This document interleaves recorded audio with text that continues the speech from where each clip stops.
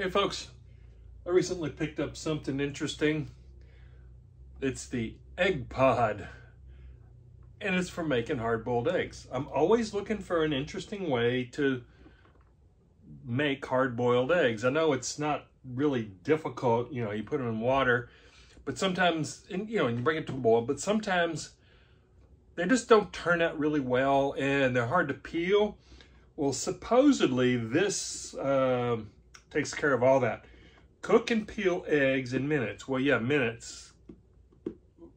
We'll get into that later, but it takes about nine minutes to cook, two minutes to cool down, and then two minutes to rinse under cold water. So you're talking more than just a few minutes. But still, if the eggs turn out well and they're easy to peel, I'm all for it. Now, this only, you can only do four eggs at a time. So I'm gonna show you first how I'm gonna prepare these eggs, just like the directions, you know, from this. And then I'm gonna make just some simple uh, uh, deviled eggs. Nothing fancy, but I love deviled eggs, so does my wife. So this will be a win-win for both of us. So here's how I use this and make some deviled eggs, and then stay tuned for the taste test. Okay, First time using the egg pod. I've got four eggs in here. And then I'm going to add 50 milliliters of water. They, they, the cup comes with it. It says don't use anything more than that. And then make sure you use the aluminum inserts on both top and bottom. And then seal it up. And then we're going to put this in the microwave on high for nine minutes and then let it cool off for two minutes. And I'm going to leave it in the microwave for that two minutes.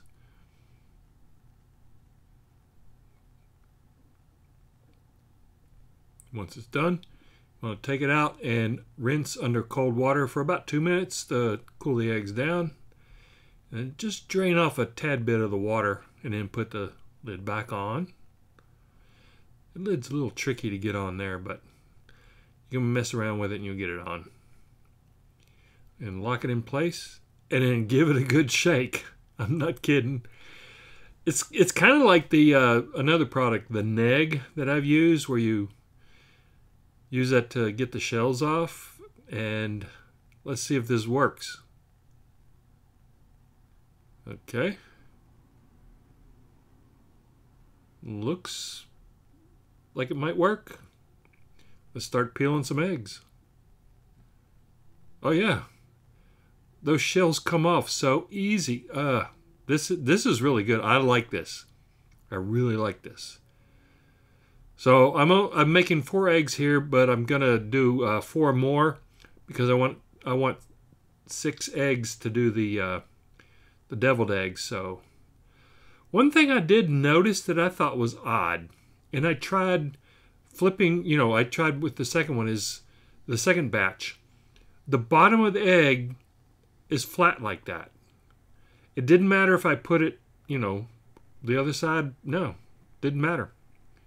Oh well, it'll be fine for the uh, the deviled eggs. Okay, let's make some deviled eggs. Simply want to cut them lengthwise like that. And look, these yolks turned out really good. There's no no dark ring around them.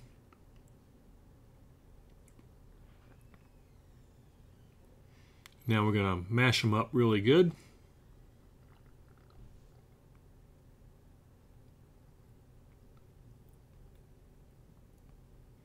And then make a quick dressing with three tablespoons of mayonnaise, a teaspoon of Dijon mustard, and a teaspoon of lemon juice and then just mix that up really well. You could add some cayenne if you wanted. I just, my wife doesn't like spicy stuff, so I just kept the spice to a minimum. And then just add this to the egg yolks. Pretty simple, right?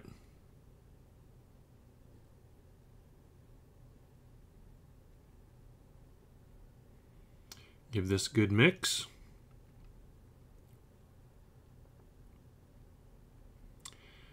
And then let's uh, stuff our eggs. Looks good. Okay.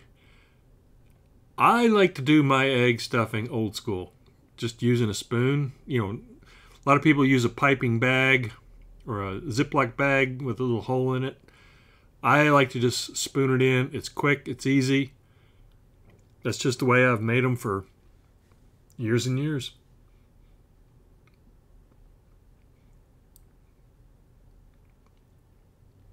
So we end up with 12 deviled eggs and then just top it with a little bit of uh, paprika and let's give it a taste. Okay, they've been refrigerated for, for about 30 minutes. It's nice chilled. So let's give it a taste test.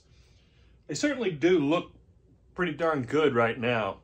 Uh, I have to say though, the one thing I did not like about this this thing was the flat, the bottoms are flat. And I, I even tried the second batch, I flipped the eggs upside down and I still got this flat.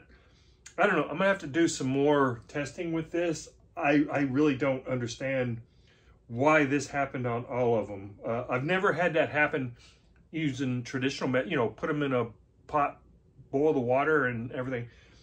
But that could be because they were laying, I don't know, horizontal instead of straight up, whatever. But anyway, there they are. Let's give them a taste test.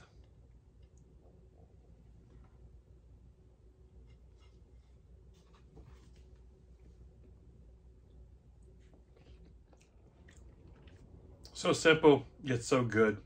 Such a simple recipe. And uh, I will I will continue trying this. I'm to see if I can get anything better. I mean, granted, it peels, the eggs peel really easily. It cooks. I mean, you don't have to do, you just put it in there, put a little water. You don't really have to think about it. It's pretty simple. I, I think all in all, I give it a thumbs up. Uh, I will play with it a little bit more. And these eggs turned out really good. So I'm really happy with that. Well, there you have it, folks. Thanks for watching.